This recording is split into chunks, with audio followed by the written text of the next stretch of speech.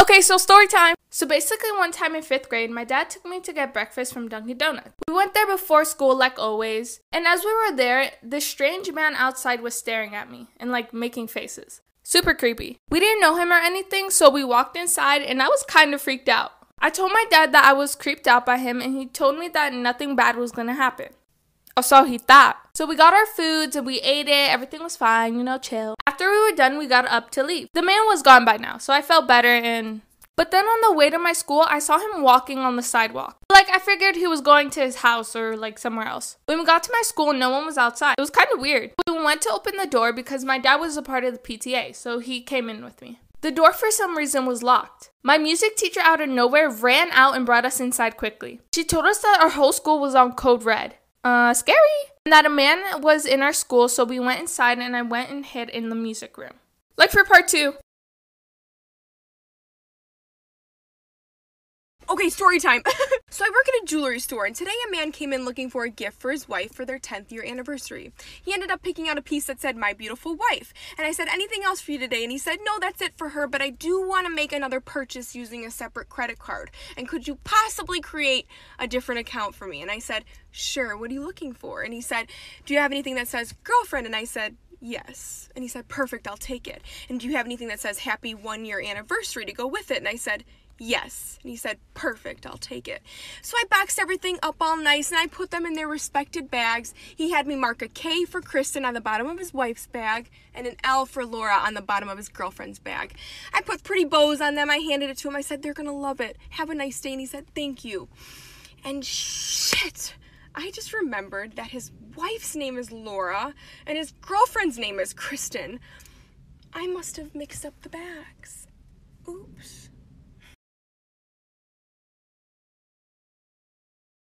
Story time about how my boss severely bullied me because she was envious of me. Disclaimer, this is not my story time, it was sent to me on Instagram. I work at a really high-end nail salon. I'm talking about two to three hundred dollars per manicure and pedicure. So it's very high-end and our clientele is very rich. My goal has been to open my own nail salon, but it hasn't happened yet. Obviously, I don't have enough money to open it, so I needed to get a job. This new nail salon had opened up near my house. It was the prettiest thing I'd ever seen in my life, so I definitely wanted to get a job there. I went in for an interview with the owner of the nail salon. During the interview, she was really nice, but kind of gave off that queen bee vibe. Like, she was the popular girl and she didn't want anyone else to be popular or pretty. I got a call from her a week later and she asked me if I could do her nails to see how well I did. And when I did her nails, she was impressed. She said that I was really good and that I was hired immediately. I started working, and within the first month, I had the biggest clientele list. A lot of clients were asking for me to do their nails. And when other clients heard the other clients ask for me, they also started asking for me. You know, word of mouth. I was extremely proud of myself. Not only was I making a lot of money, but I was actually building a clientele base that really loved my work. Don't get me wrong, the other girls at the salon were actually really good, and so was the owner. If we were really busy, sometimes the owner would pick up any walk in clients.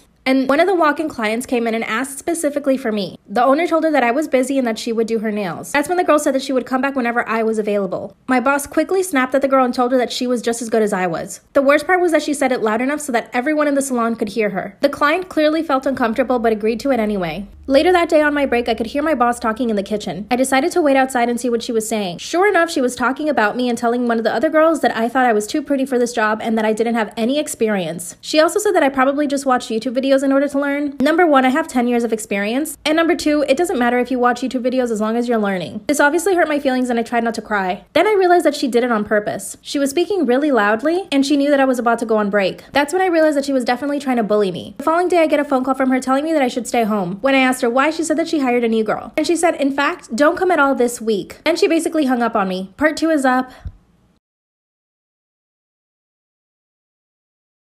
If you guys want to talk about the worst mom in the history of moms, let's talk about the case of Diane Downs, who literally attempted to murder all three of her children in order to get a man to fall in love with her. So, what exactly creates a monster like this? Well, Diane was born August 7th of 1955 in Phoenix, Arizona. Most of her life, she was pretty well behaved, but she started to rebel against her parents around high school. She cut her hair, had a really edgy phase, and got super boy crazy. And she started to date guys, which was way outside of her strict family's rules. And she fell in love with a boy named Steve Downs. They were high school sweethearts, but the second that college hit, they ended up going separate ways. He joined the Navy, and she went to Pacific Coast Baptist Bible College. And while they said that they would stay faithful to each other, she immediately started to hook up with other guys when she got there, and was expelled for her promiscuous behavior. and had to go back and live with her strict parents. While Steve came back, he forgave her and they ended up running away together and getting married on November 13th of 1973. They were known to fight constantly. But in 1974, they had their first child together, making everything worse.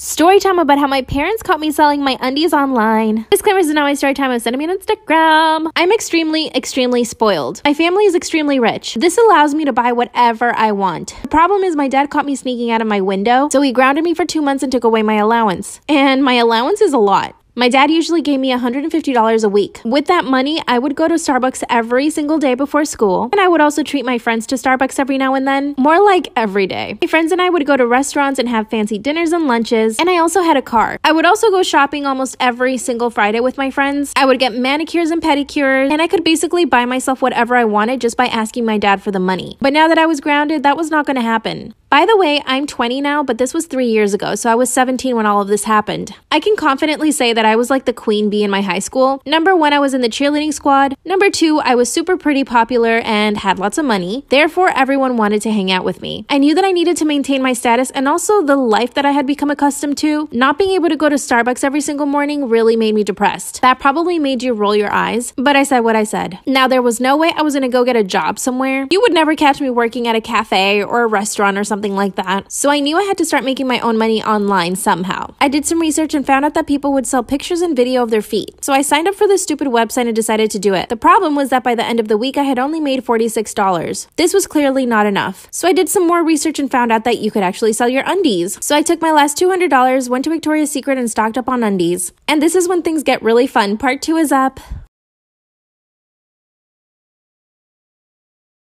Story time of how I found out that my mom was actually my older sister. My older sister never really liked me as a child. We were never close. I never knew why, but I was guessing it was because of the 10 year age gap. But I'm pretty sure she hated me because she couldn't even look me in the eye. I cannot make this up. She would not look me in the eye. But she never really talked to my parents either. She kind of just kept to herself all the time. Sometimes I have vivid memories of when we were younger and she would always be arguing with my parents about something, and I always thought it had something to do with me. Well, I was right. It had everything to do with me because eventually my sister turned 18 and she moved out. For two years, I didn't talk to her at all. I honestly don't even think I had her number saved, and I'm pretty sure that she didn't have mine. Well, two years later, and I was 10 at the time, she reached out to me via social media. I'm not sure how she found my Instagram name, but it was just my name, so she probably just typed that in and found me. She DM'd me and told me that she wanted to talk about something very important and that she would like to talk over the phone. So we exchanged numbers and we called that same night. And she told me that when she was younger, my dad had taken advantage of her and gotten her pregnant. Story time on how I sold my farts in a jar and made big money. Okay, so boom, let's get right into it. So I'm extremely broke. And because I'm broke, I did what many people would do and went to Google. I looked up ways to make money when you're dead broke as a woman. Dancers came up and also fans only, and even selling my intimates. But I served the Lord, so I didn't want to do anything involving my body in a sexual way. No judgment, by the way, just not for me based on my beliefs. Well, anyways, I stumbled across a page of a woman. I don't know if she prefers her identity to be hidden, so let's just call her Hannah Montana. Well, Hannah Montana explained how she made 70k selling her farts, and it immediately one shocked me and two piqued my interest. Now, this was something I could do. I had to start my fart journey, like for part two. Some men are absolutely disgusting. Like yuck, yuck, yuck, yuck, yuck, yuck, yuck. Oh my god. So you know, I was just at the gym, you know, being a baddie, trying to build a fatty bitch, and there's a guy working out next to me, and all of a sudden a girl passes by, and like he doesn't even look at her, like doesn't look at her face, just looks at her ass, and like stares for a good 30 seconds, like a weirdo, like a straight 30 second. Like I understand peeking like 10 seconds, but 30 seconds just straight. And you know, there's nothing wrong with checking a girl out because some of these girls out here be fine. Like they be making you break your neck just to look at them because they're bad bitches, so it's well deserved. But the problem is, this man had the audacity to look at his friend and be like, "That's a hard sex," and then he started criticizing everything about this girl's body, even down to the fucking leggings she was wearing. Oh my god! But then, bitch, it got worse because then I started noticing that they were following different girls around the gym while they were doing their workouts, and they were rating them and critiquing them as to why they wouldn't or would smash. Like, what the fuck? And in my head, I'm like, first of all, y'all are hard fours. I don't know why y'all talking when you look like the creepy uncles at the barbecue, bitch. I was in class on Zoom. I wanted to go to sleep honestly because like when I'm tired, I go to sleep. I end up falling asleep and then class ends and everyone starts leaving the class except me because I was like in a whole other universe at this point. I was dreaming, I was flying. At this point, me and the teacher are alone in the call. This is the best part. then the teacher starts talking to me and he's like, "Samantha, wake up. Samantha, please." Samantha, you have another class. He woke me up, but I was half awake, so I didn't really know what was going on. So I thought it was my brother waking me up, and I straight up yelled. I was like, shut up, you fat booger. And so then I realized, oh shit, I just called my teacher a fat booger. And now he scheduled a parent conference. Um, I'm going on Monday, so I'm really excited. Am I the a hole for kicking my brother in law out after he referred to himself as the father of my child? Let me explain. I'm a 30 year old female and my wife is a 29 year old female. We welcomed our son into the world a year ago, and both of our families are very accepting of us, but my wife's family has this weird obsession with passing on the family genes. So this made adopting out of the question very early on. My wife and I always wanted to start a family, but things got difficult when my wife found out that she was infertile. We knew that her family would be understanding, but I am terrified of pregnancy. My biological mom died in childbirth, which has led me to believe that I wouldn't hold a pregnancy very well. After a few months of brainstorming, my mother in law suggested that we do IVF, using my eggs, my brother in law's sperm, and let my wife carry the baby. Even though I was skeptical, I gave in because the plan hit all the marks. Her family got to pass on the genes, and my wife and I got to start a family. Plus, I didn't want to carry the baby. We went through extensive counseling and therapy to make sure everyone was on the same page and could handle it, and everything went great. My wife loved being pregnant, aside from the morning sickness, and we were overjoyed to welcome our new baby boy in the winter.